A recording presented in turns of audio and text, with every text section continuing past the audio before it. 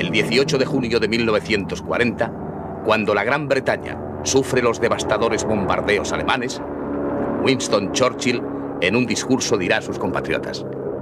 No quiero subvalorar la severidad del castigo que cae sobre nosotros, pero confío que nuestros conciudadanos serán capaces de resistir como lo hizo el valiente pueblo de Barcelona. Los bombardeos contra Barcelona provocan una impresionante protesta en todo el mundo.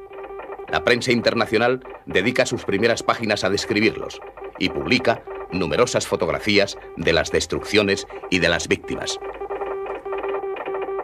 Personalidades políticas e intelectuales de todo el mundo levantan su voz contra estos bombardeos. Entre otros, el Pandit Nehru. Jules Romain, presidente mundial del Pen Club, y el conocido escritor católico francés François Mauriac. Diversos gobiernos formulan enérgicas protestas ante el general Franco.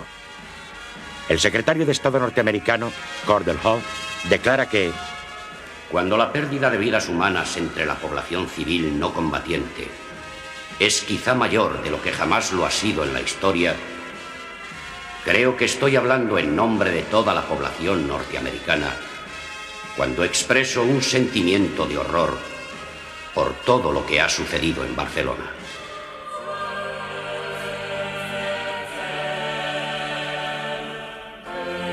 El Vaticano también levanta su voz contra los bombardeos de Barcelona mediante su diario El Observatore Romano. Informa además que el Papa ha encargado a su representante ante el gobierno de Burgos, Monseñor Hildebrando Antoniuti, que con independencia de la acción de otras potencias, haga una nueva y urgente gestión cerca de Franco para que cesen estos bombardeos contra las poblaciones civiles. La publicación de esta nota provoca una grave tensión entre el Vaticano y el gobierno de Burgos.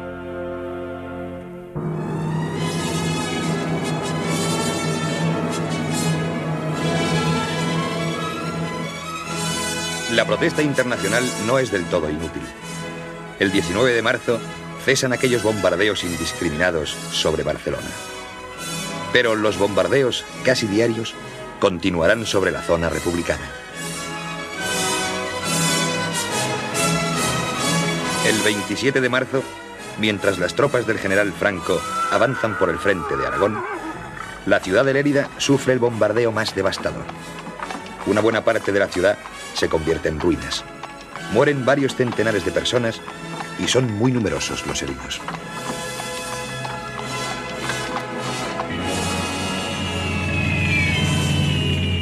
El 26 de mayo, a las 11 de la mañana, Alicante sufre el bombardeo más duro. Algunas bombas caen sobre un mercado de abastos en plena actividad. Mueren unas 250 personas y los heridos son varios centenares. Numerosos edificios son total o parcialmente destruidos. El puerto y la ciudad de Alicante sufren numerosos bombardeos aéreos y marítimos durante la guerra. Sus víctimas se calculan en unos 500 muertos y alrededor de 1.500 heridos.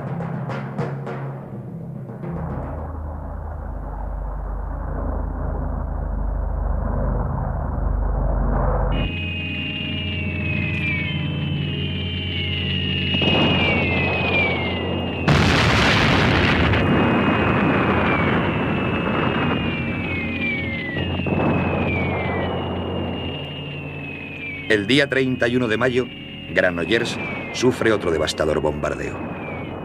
30 bombas explosivas y 10 incendiarias caen sobre el centro de la pequeña ciudad, destruyendo numerosos edificios civiles.